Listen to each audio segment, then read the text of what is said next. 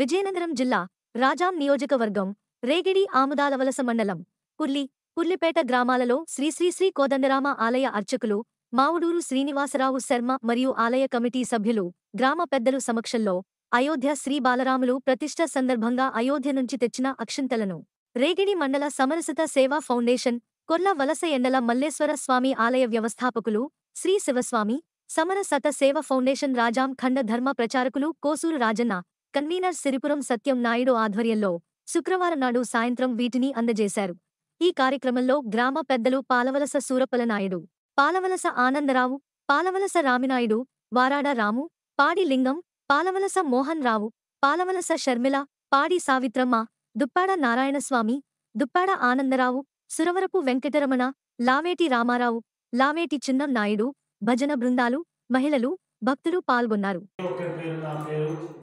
అందువలన అంత అద్భుతమైన అవకాశం ఆ శ్రీరామచంద్రమూర్తి నాకు ఇచ్చినందుకు నేనేం బాధ్యత తీసుకున్నానంటే రేగిడి ఆమదాల వలస మండలంలో ఎన్నైతే గ్రామాలు ఉన్నాయో అన్ని గ్రామాలు గడప గడపకి కూడా ఆ బాలరాముని దగ్గర పూజించిన అక్షంతలు చేరేటటువంటి బాధ్యత ఇచ్చినందుకు ఈ రేగిడి ఆమదాల వలస మండలంలో ముప్పై తొమ్మిది పంచాయతీలకి కూడా ప్రతి గడప గడపకి కూడా ఆ రామయ్య తండ్రి అక్షంతలు చేర్చాలని ఒక బాధ్యత తీసుకుని ఈరోజు మన గ్రామాలన్నింటికీ కూడా ఆ రామయ్య తండ్రి అక్షంతలు పంపిణీ చేయాలని చెప్పి తిరుగుతూ ఉన్నాను. ఈ అక్షంతలు స్వయంగా అక్కడి నుండి వచ్చినవి కాబట్టి ఈరోజు ఇక్కడ మీ దేవాలయంలో ఇవ్వడం జరుగుతుంది. ఇక్కడ పెట్టిన తర్వాత ఈ నాలుగైదు రోజులు పొద్దునైతే పొద్దున్న సాయంకాలం అయితే సాయంకాలం మాతలు అందరూ కూడా వచ్చి ఇక్కడ కూర్చొని అక్షంత లోపలు ఉన్నాయి కాబట్టి